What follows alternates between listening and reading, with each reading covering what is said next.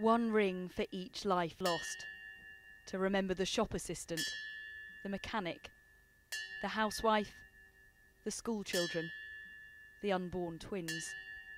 The list goes on of the ordinary people who went out shopping in a country town and fell victim to the worst single atrocity of the Troubles. After the final chime, at the time of the explosion, Omagh fell completely silent. How different it was two decades ago. Bang. The bomb went off. And everything just was gone. The anarchy that was left behind. You had water flying everywhere. You had people squealing.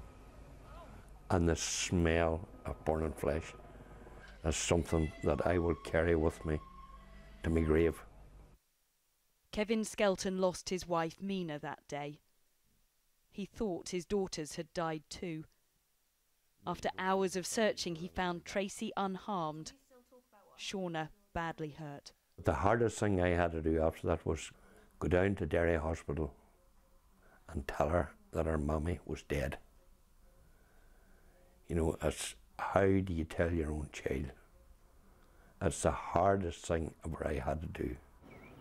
Across the town of Omagh, survivors, relatives, and first responders were living out nightmares. The bombers had sent a warning with the wrong location, so police directed shoppers towards danger. And I looked down at my feet and I saw a body at my feet. And then when I looked around the street, I could see more here, here, here. Richard's job was to deal with the dead. Each of the bodies we brought up and we placed them from the stairs right across.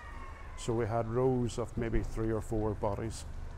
Uh, and we kept bringing the bodies up until such a time as the entry was full right out to here. Omagh has this garden now to remember the victims. But while bereaved families won a civil case against four real IRA members, there have been no criminal convictions, and the fight for a public inquiry goes on.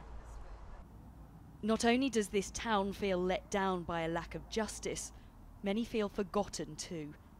Richard told me he struggled with post traumatic stress for the rest of his police career, but got little support. Kevin came close to suicide. Both men now reach out to others. The need at the minute is more than it was back 20 years ago. Why is that? There's people coming forward who have never come out and that, uh, that have never spoken about what has happened to them, not only regarding Omagh bomb, but other atrocities. This community doesn't need an anniversary to be reminded of the price it has paid the physical and emotional toll of terrorism. Omagh will never forget. Tessa Chapman, 5 News.